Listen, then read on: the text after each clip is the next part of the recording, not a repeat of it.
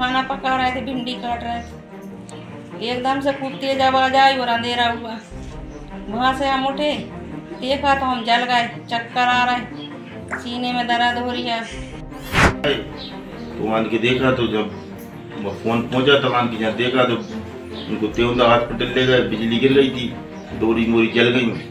विदिशा ज़िले के पठारी में आकाशीय बिजली गिरने से एक महिला झुलस गई। टीवी, फ्रिज, कूलर एवं अन्य उपकरणों के साथ साथ हज़ारों का सामान जलकर हुआ खाक। नमस्कार, मेरा नाम है शिवम कुशवाहा और आप देख रहे हैं द खबरदार न्यूज़। विदिशा ज़िले के पठारी में कल रात तूफानी बारिश एवं हवा के साथ बिजली गिरने से सारंगा मोहल्ला निवासी राजा खान ड्राइवर के यहाँ बिजली गिरने से उनकी पत्नी अकीला बिजली से झुलस गई। आसपास के लोगों ने तुरंत उनके घर पर पहुंचकर श्रीमती अकीला वी को देखा और तुरंत उठाकर डॉक्टर को दिखाया। डॉक्टर ने तुरंत देखकर पीड़ित को त्योदा प्राथमिक स्वास्थ्य केंद्र ले गए। बता दें, उनके पति बस ड्राइवर हैं। वह उस समय बाहर थे। उनको जैसे ही फ़ोन पर सूचना मिली, वैसे ही वह घर आ गए और तुरंत त्योदा हॉस्पिटल ले गए। श्रीमती अकीला वी ने बताया की मैं किचन में काम कर रही थी। अचानक भारी बारिश और हवा के साथ बिजली गिरी। मुझे ऐसा लगा कि मैं पूरे तरीके से जल चुकी हूँ। घबराहट हो रही है, चक्कर आ रहे हैं। सीने में दर्द है। उन्होंने बताया कि मकान की छत दीवारें पूरी तरह से क्षतिग्रस्त हो गई हैं। फ्रिज, कूलर, पंखा एवं अन्य उपकरण जल चुके हैं। इस घटना की सूचना मिलने के बाद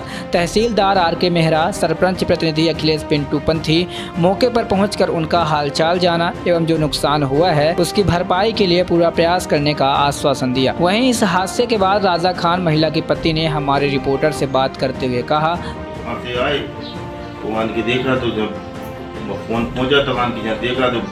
उनको तेवंदा हॉस्पिटल ले गए, बिजली गिर गई थी डोरी जल गई, छत छत क्रैक हो गई तो दीवारें क्रैक हो गई क्या क्या नुकसान हुआ?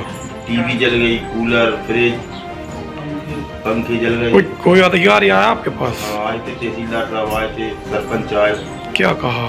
कहेगा कि जो भी हमसे मदद बनेगी करवाएँगे वहीं जब हमारी रिपोर्टर ने पीड़ित महिला अकीला वी से बात की तो उन्होंने बताया किचन में गए हम खाना पका रहे थे भिंडी काट रहे थे। एकदम से खूब तेज आवाज़ आई और अंधेरा हुआ।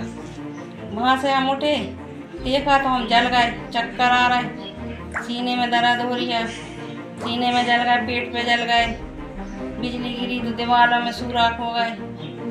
और हमें मालूम नहीं था कि बिजली गिर गई। हम अस्पताल चले गए तो हमने बोला दूध फिर गया। कहीं बोल दिया हमने पत्ती। तो हमें लगी बिजली। हमारी दीवार में सुराख हो गए। टीवी जल गई, फ्रिज जल गया, पंखी जल गई। और हमें तकलीफ़ हुई, हमें जल गए। तो आप कहाँ गई थी इलाज कराने? देवदा थाने में गए थे। हाँ हाँ। वहाँ हमने इलाज करवाया तो हमें अभी भी आराम नहीं है। सिर में दर्द हो रहा है सीने में दर्द हो रहा है पेट फूल लिया है। अभी तक कोई अधिकारी आपके पास आए? जहाँ पे कोई नहीं आते तहसीलदार साहब आए थे। सरपंच भी आए थे। तो क्या कहा उन्होंने? उन्होंने हमसे कुछ नहीं बोला। कि कह रहे थे कहना वो सब ठीक हो जाएगा। विदिशा पठारी से हमारे रिपोर्टर आशीष सहेल की रिपोर्ट। देखते रहिए द खबरदार न्यूज़।